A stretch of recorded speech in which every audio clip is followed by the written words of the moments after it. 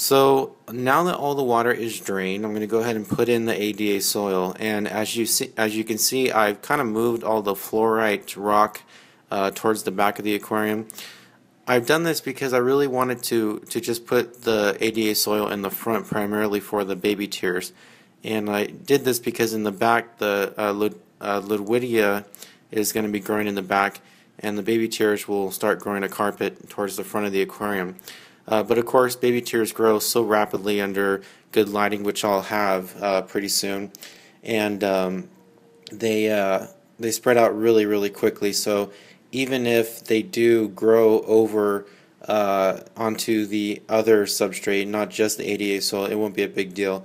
Uh, but of course, I did actually cover uh, the entire surface with the ADA soil. I just did this in the beginning because you're going to see here in about about 30 seconds that I actually um, just spread the ADA soil all around to really ensure that you know it covers um, the entire top portion of uh, the fluorite substrate.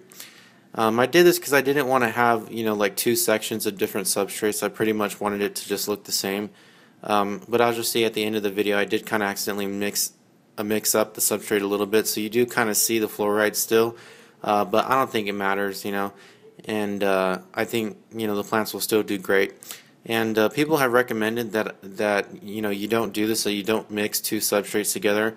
But honestly, uh, even in the directions they recommend that you mix uh, a type of power sand that they sell, and it, they they said that it has lava rock in the power sand. So if lava rock is in the power sand that they recommend that you use underneath the actual aqua soil, I really don't think that you know, doing this with fluorite will be a big deal because fluorite is practically the same thing. It, it's, you know, pretty much similar to uh, to lava rock.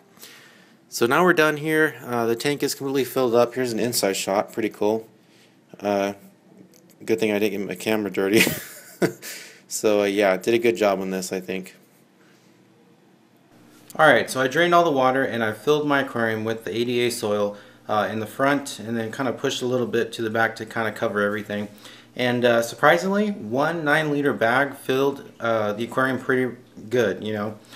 Um, I can't say for sure that one 9 liter bag would work well for a 50 gallon tall um, because I do already have substrate in there. Um, but I can say that honestly with one bag you probably could get at least a little a little over an inch of coverage on the uh, bottom of the tank. But then again, it's kind of hard to say because, I mean, all tanks are different. And But if you do, for some reason or by chance, have the same tank that I have, you know, you're in luck because now you know that one 9 liter bag can probably do it for you.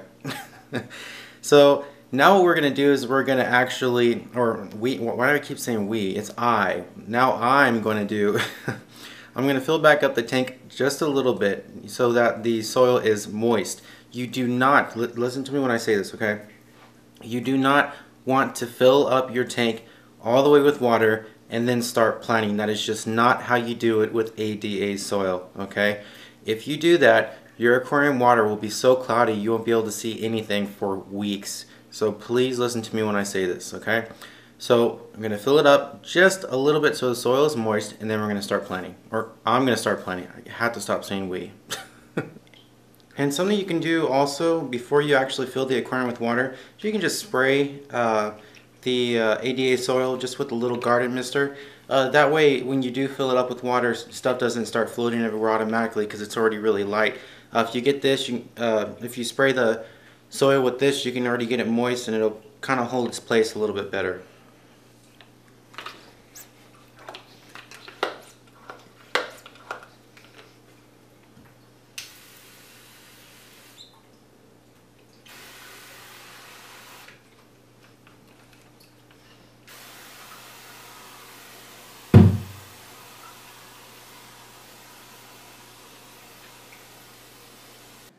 So now I'm going to use my return pump from my wet dry filter to pump back the water that I saved from uh, the time when I took out all the water from the tank.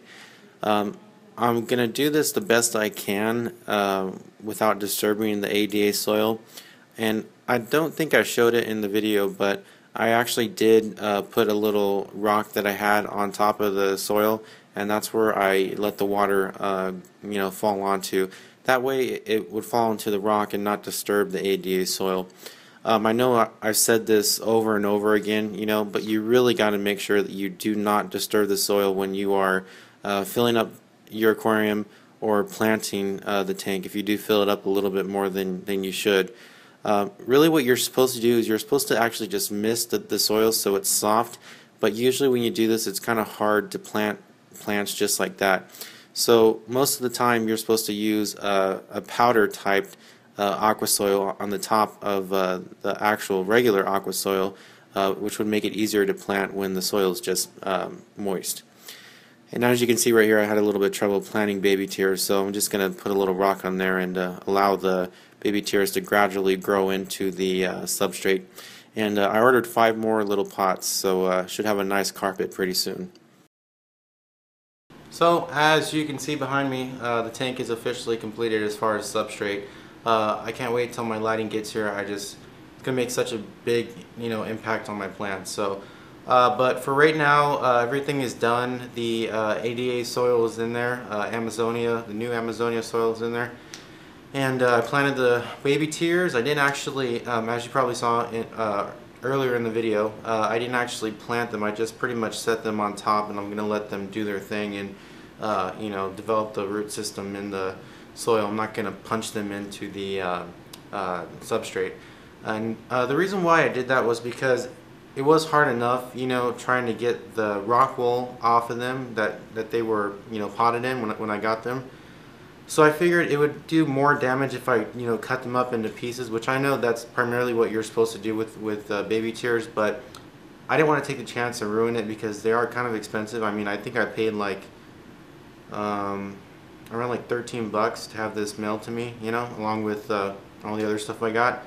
So uh, yeah, I don't want to mess them up. uh, but yeah, they're in there, and uh, all the plants are in there. The ones that were in there before, they're in the back. Um, I did kind of throw away a couple of the Anacharis plants. I only left one in there because I really don't like them, and I think it kind of takes away from uh, you know the theme because they're like the only ones in there. So uh, I'm just going to keep the plants that are in there right now.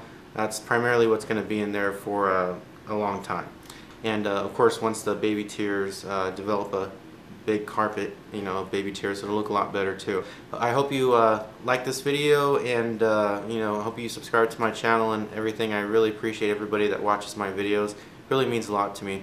So uh, thanks for watching guys, I really appreciate it and I'll be back uh, with another video about my lighting system and also I'll be making a, a helpful tip video about uh, CO2 because there's some things that you guys need to know as far as the right uh, materials to buy and tubing and things like that to properly uh, use the CO2 uh, system with your aquarium. So stay tuned for those videos. But thanks for watching this video. I really appreciate it and I will see you guys next time.